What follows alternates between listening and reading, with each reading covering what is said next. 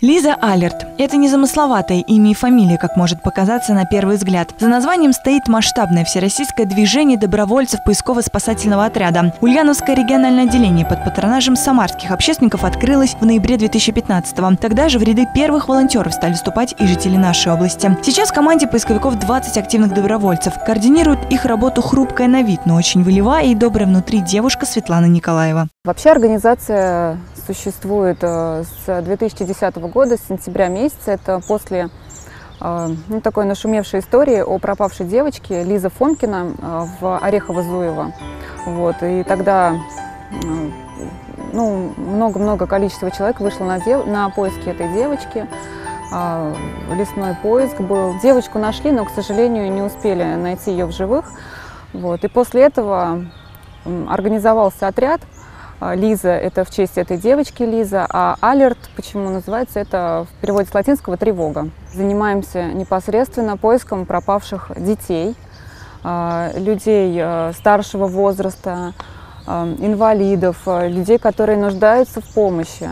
Нам обращаются родственники потерявшихся людей, которые не выходят на связь, то есть э, более там суток, двое. Стать частью команды отряда может любой совершеннолетний житель. Стоит позвонить на горячую линию или заполнить заявку на официальном сайте. После с вами свяжется опытный наставник. Все начинающие добровольцы предварительно проходят специальное обучение. А уже дальше начинается настоящая работа, за которую не платят денег. Все, что делают поисковики – чистый энтузиазм и ярое желание помочь. Поступает заявка на горячую линию.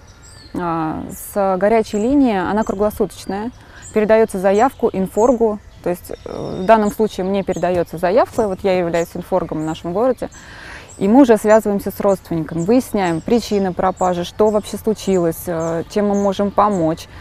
И у нас э, как бы главный координатор нам всем раздает задачи. И уже по возможности ребята, то есть кто, кто на что готов, разбирает свои задачи и выполняет действия.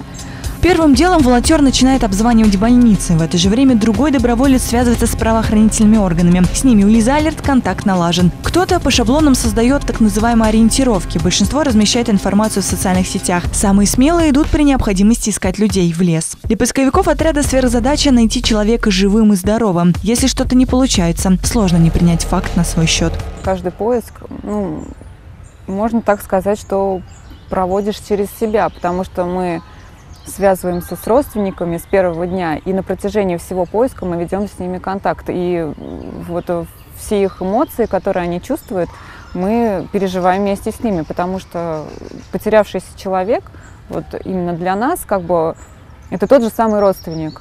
То есть это не чужой человек для нас.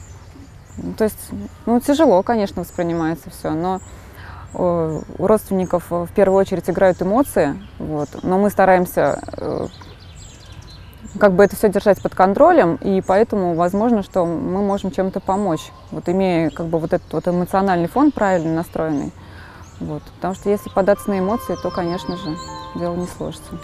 За помощью к волонтерам Лизы ежедневно по всей стране обращаются тысячи людей. Поиск того или иного человека может занять несколько минут, однако есть случаи, когда отыскать пропавшего не удается годами. Тогда команда общероссийского движения обращается за помощью на федеральную передачу «Жди меня». Помочь добровольцам может каждый, стать частью дружной команды легко и просто, особенно когда вас действительно ждут. Главное иметь большое чистое сердце и желание прийти на помощь людям в тяжелой ситуации. Рената Алиулова, Юрий Конихин, специально для Ульяновской правды.